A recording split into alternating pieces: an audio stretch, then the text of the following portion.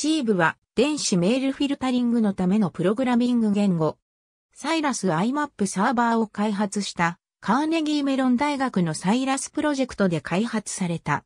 特定のオペレーティングシステムやメールアーキテクチャに依存していない。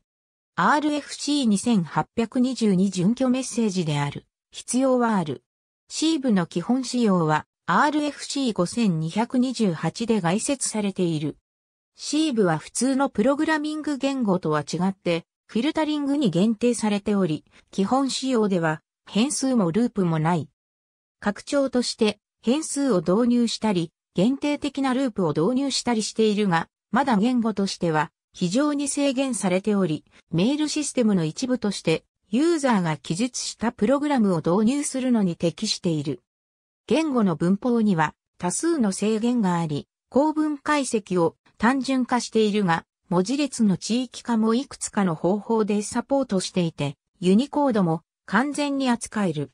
Sieve のスクリプトの例を以下に示す。 example script。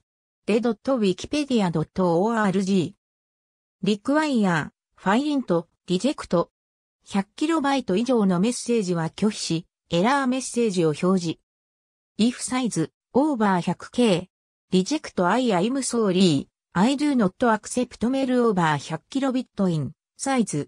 Please upload larger files to a server and send me a link.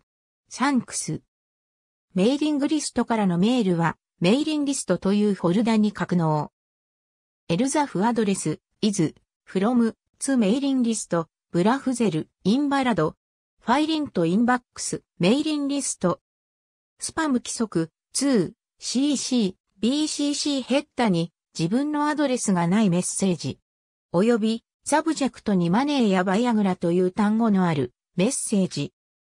elsif anyof、not address、all、contains、to、CC、BCC me、blafasel、invalid、header、matches subject、money、viagra、fileinto INBOX、spam。他はキープする。この部分はなくても良い。エルス、キープ。ありがとうございます。